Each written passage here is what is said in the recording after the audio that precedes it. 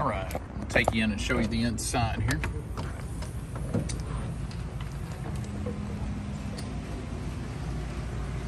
All right, so you walk in to your left, um, you've got this um, sofa that has three built-in recliners, um, cabinet storage above, that's your door for the uh, cargo area. Um, you've got the fireplace and some cabinets, Sony TV, more cabinets up top, um, the big bunk up above the cargo area, stainless fridge, it is the four-door fridge, um, has the freezer on top and then two um, doors for the fridge. Literally looks new. Um, over here, you've got the oven and a gas cooktop, a microwave and convection oven, uh, pantry storage up here. And that's probably a foot, maybe 12 inches depth by, I don't know, three foot wide. Um, you've got this one over here that is a little shorter. It's probably six inches depth and again about three foot wide. And the same thing down here. Um, the little kitchen sink area, you've got three pull-out drawers here. And then underneath the sink, you've got um, some pretty decent storage down there underneath the sink as well. Uh, the sink is a stainless and it's a double.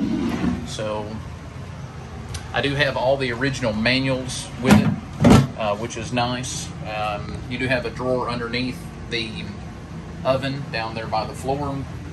And then over here to the left of the fridge, you've got some more storage. So quite a bit of cabinetry. You got those two, that one, a drawer down there. Um, you got some drawers underneath the sink. Um, you got some up here. I'll open one of those. Kind of see. And then you've got this guy. Don't forget.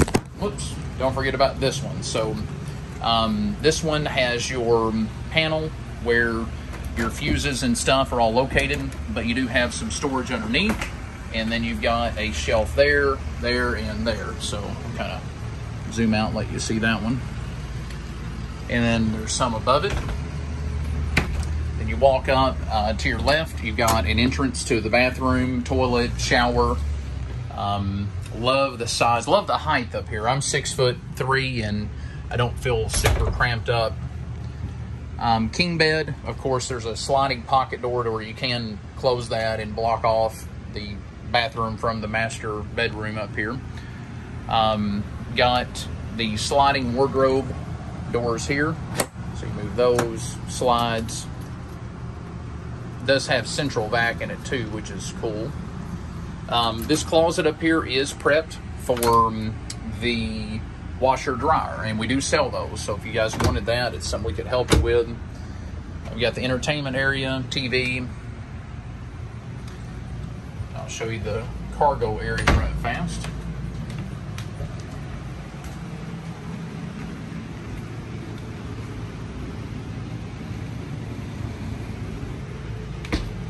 Okay, so there is a portable table um, I've got it set back here right now, but there is a portable table that can go up here in the front area, or you can set it up back here. It's kind of dark in here with the, the beds up. It blocks some of the lighting, but um, you can see it's got sliding glass doors um, in the very back. So if you're trying to keep it AC back here, but you've got your uh, patio door down and set up, you do have sliding doors. Um, there's the door that goes outside. TV, more cabinets, um, and then you have the half bath back here, which is pretty much just a little uh, toilet and a sink and a, a mirror. Again, the garage space is 11 foot. Um, these are electric, so the, the seats and they convert to beds, and there's one up top. You can kind of see that does lower down give me a shout with any questions. Um, my name's Dylan. I'm with Chase Motorsports out of Paducah, Kentucky, and um, we've uh, been in business for, I guess, going on 14 years now. So if I can help you out, give me a shout. Have a good evening. Bye bye.